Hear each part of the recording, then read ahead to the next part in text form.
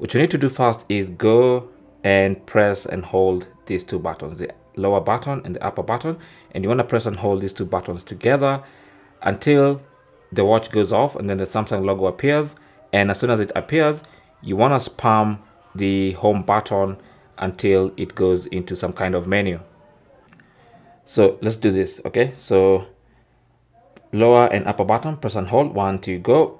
There you go press and hold just ignore what you see on the screen. Just keep holding. Keep holding. Screen goes dark. Let's wait for that samsung logo. There you go. Release and spam the home button. Now when you spam the home button you're gonna see this menu. So this is a menu you can scroll on okay? And you just need to use this button to scroll okay? Don't try to use this one. Just scroll with this one. And when you get to the end of the list it's gonna start from the top again so what you're looking for here is recovery okay? So let's go and highlight recovery. There you go. So recovery is highlighted in blue. So to select it now you need to long press on that button. So long press and then now your watch will boot into recovery mode.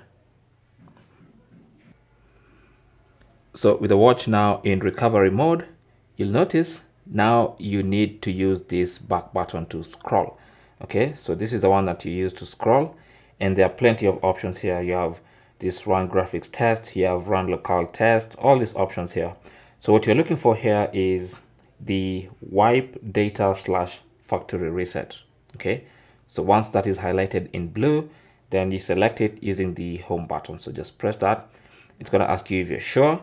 So you want to scroll down again to confirm. You want to factory data reset and then confirm again uh, or rather select that by using the home button and that's going to factory reset your watch okay?